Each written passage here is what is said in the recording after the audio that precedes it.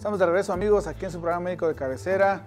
Ya saben, cualquier comentario o duda que tengan la pueden hacer al 205-6300 o al 951-117-3981 o también nos pueden seguir en el Facebook en médico de cabecera. Ahí nos pueden ver, nos pueden seguir. Cualquier duda que tengan, pregunta que le quieran hacer a la doctora, con mucho gusto se les va a responder.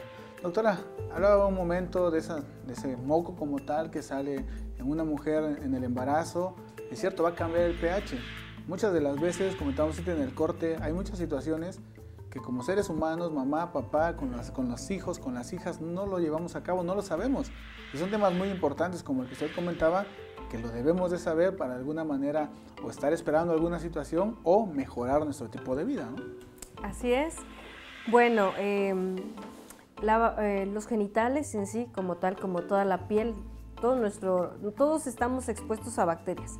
Cualquier zona de nuestro organismo está expuesta a bacterias. Pero también la vagina presenta microorganismos que se encuentran como tal en la vagina instalados.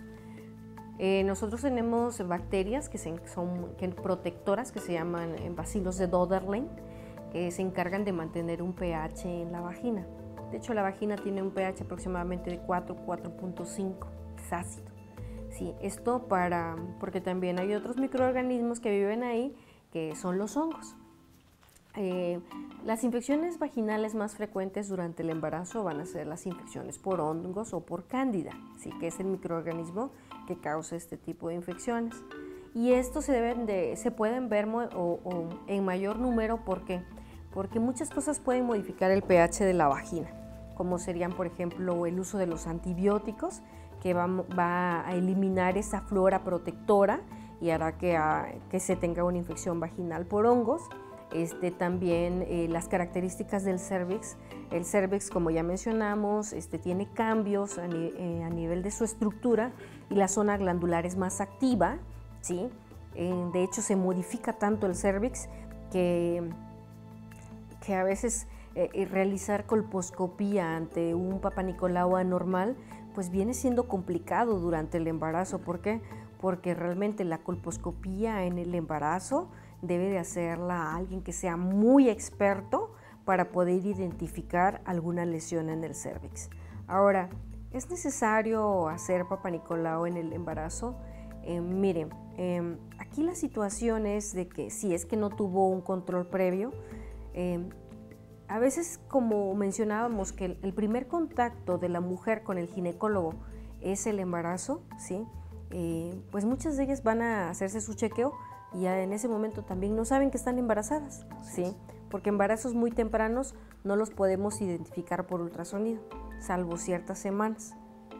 Entonces, eh, si a veces es la, única situación por cuestiones del acceso a los servicios de salud de una mujer, pues a veces se tiene que utilizar en, esa, en, ese, en ese momento el tomar un papá Nicolau, porque es una mujer que no volverá a ir al médico, ¿sí?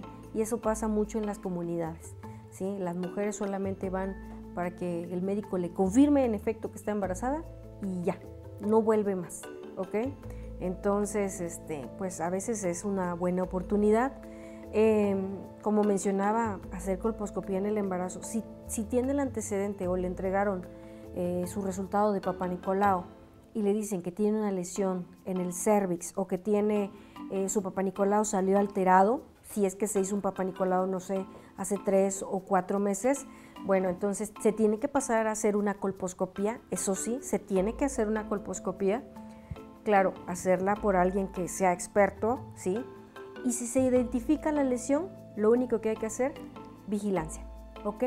La única indicación para hacer un estudio más exhaustivo eh, de una lesión en el cervix en el embarazo sería la sospecha de una lesión o un microinvasor. ¿sí? Una lesión de alto grado que ya logró pasar la membrana basal ¿sí? o un cáncer como tal que ya se pueda ver el cervix irregular con las modificaciones colposcópicas que nos orientan a una lesión de alto grado. Esa sería la única indicación para tomar una biopsia en el embarazo. Fuera de eso, no, no ¿por qué? Porque también el cervix durante el embarazo se aumenta su vascularidad, y sangra muchísimo más, ¿sí? Entonces ahí podríamos tener un sangrado abundante en la, en la embarazada. Por eso es que no tomamos biopsia en el embarazo, ¿sí? Solamente lo que salvo, le digo, salvo que sea una lesión de alto grado, tomaremos la lesión. Pero si no, si, tiene una, si, si vemos una lesión de bajo grado o si vemos condilomas en vagina, entonces lo que hay que hacer es vigilancia.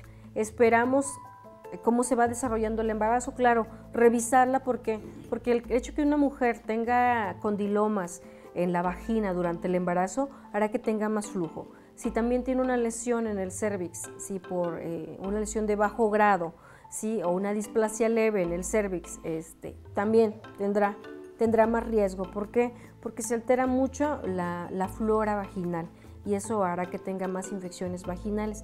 Por eso también es de que ¿Por qué hay que cuidar esto? Porque recordemos que las infecciones vaginales o las infecciones de vías urinarias a veces son el factor de riesgo más importante para tener amenaza de aborto o para tener amenaza de parto prematuro. Y también pues los embarazos o los partos prematuros pues también eh, tienen riesgo, ¿no? Tanto para la madre como para el producto. Creo que checar esta, lo que siempre yo doy de sugerencia es checarse, explorarse en este caso. Creo que las, las chicas el, sentir un aroma anormal en vagina, creo que es alarma de que algo está, está variando ahí, como usted comentaba, ¿no? La flora normal que existe no, no tiene un, aroma fétido, aunque a veces no hay aseo, no hay baño un día, no tiene un aroma fétido, y cuando varían los diferentes tipos de, los diferentes tipos de enfermedades de origen sexual, ¿no? En ese tipo también, en esta situación, el, virus del papiloma, pues va a haber un cambio en el pH, que creo que también ese puede ser un dato que ellas mismas pueden tomar al estarse explorando, checando continuamente, ¿no? Así es. Mm, cuando a veces en algunas pacientes embarazadas eh, empezamos a notar este, mm, las infecciones vaginales muy frecuentes, muy frecuentes y sintomáticas. ¿Por qué? Porque ya tienen comezón en, la vulva, en la parte externa de los genitales, este, tienen ardor, dolor, ¿sí? Este, o el flujo. el flujo empieza a oler diferente o también el flujo empieza a tener color diferente, porque de repente, por ejemplo, puede pasar de a lo mejor de un tono blanco o amarillo a un tono verde y es completamente anormal. Entonces, este, ahí es momento de estarlas checando o decirle, ¿sabe qué? Terminando el embarazo, hay que, pasando todo lo que sería el, puerperio o la cuarentena, como se conoce, este, pues hay que checar el cervix, ¿no? Para ver por qué está, está teniendo tantas infecciones vaginales durante el embarazo. Sí, sí es frecuente las infecciones de vías urinarias en, en el embarazo y también vaginales, este, pero no tan, tan intensas, ¿no? O sea, no, no, no, a lo mejor una o, dos máximo, pero que sean todo el tiempo, todo el tiempo y que se les dé tratamiento y otra vez y otra vez.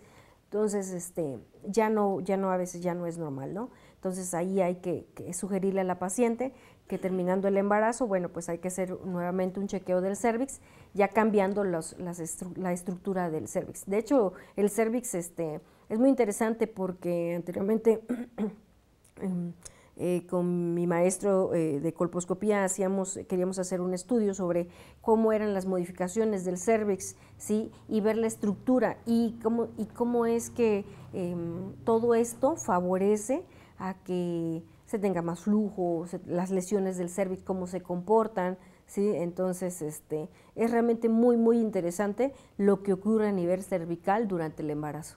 Claro, pues son cambios muy drásticos, ¿no? Que no es cierto, hablamos del service, pero en sí en el organismo de manera general suceden cambios y cualquier lesión que, exista pues se va a hacer más grave, ¿no? ¿Por qué? Porque en sí las, todas las defensas están enfocadas, todos los nutrientes a lo que se está gestando dentro del vientre de la, de la mujer y pues es lógico, ¿no? Que los cambios son muy drásticos y van a hacer que una lesión que ok, ya empezó, se agrave o se puede hacer más drástico su, su proliferación. Y en este caso volvemos a lo mismo, hay que hacer prevención. De cierto, ok, hablamos del embarazo ahorita, pero desde antes hacerle la invitación siempre a todas las, mujeres, tener chequeo, es cierto, no hay vida sexual activa, también hay que checarse, es muy bueno, y cuando empiecen vida sexual activa, aún con o sin embarazo, pues siempre hacer prevención, ¿no? ya sea visitar a su médico general o un ginecólogo experto como usted para de alguna manera tener y evitar ese tipo de lesiones que desgraciadamente cambian un entorno familiar completamente y la vida de, la persona. A ustedes le han de llegar varios pacientes en este caso que es cierto, siempre se los digo, para el bolsillo del especialista es muy bueno, pero para el caso como tal, a veces a uno mismo le genera una tristeza porque, porque no llegó antes. Y creo que ese es uno de los puntos que hay que hacerle siempre a todos nuestros, nuestros pacientes para evitar un tipo de lesión. ¿no, Así es, y también este, pues que la mujer sepa identificar los factores de riesgo. ¿no? Eh, una pareja nueva siempre es un factor de riesgo. Este, el inicio de vida sexual activa este, joven también es un factor de riesgo, ¿sí? Este, yo creo que siempre aquí consideramos, aquí hay que romper tabús en el aspecto de que tiene virus de papiloma humano, ¿sí? Y atacamos a la mujer, ¿no? O sea, de que mm, quién sabe cómo es, este, eh, con quién se mete, no. También hay que aquí a implicarle cierta también responsabilidad al varón, ¿sí? Y un varón de riesgo, un varón que ha tenido múltiples parejas sexuales, es un varón de riesgo, ¿sí? Entonces, si dijeran, este, pero es que a mí me quiere mucho y conmigo es diferente, sí, pero de todos modos, ¿no? No está por demás hacer un chequeo, ¿sí? Este, o desde que está conmigo cambió, no. Lo ideal es, seguirse checando, ¿sí? ¿Por qué? ¿Por qué hacemos los papanicolaos eh, anuales, ok? Porque el papanicolao no es la herramienta de... Ningún estudio es 100% diagnóstico, salvo la biopsia en el cervix, ¿sí? ¿Y cómo se llama? Y aún así en la biopsia, entre patólogo y patólogo pueden discrepar, pero ya pues, se puede identificar una lesión. Pero, ¿cómo se llama? Pero el Papa salvo que sea una lesión de alto grado, la podremos identificar por el Papa Fuera de eso, no hablar de Papa Nicolau y colposcopía, que son estudios que deben de realizarse frecuentemente. De eso vamos a regresar en un momento para cerrar el programa, que es un tema muy importante para evitar ese tipo de lesiones que es, muy frecuente. Vamos a un corte amigos y en un momento regresamos.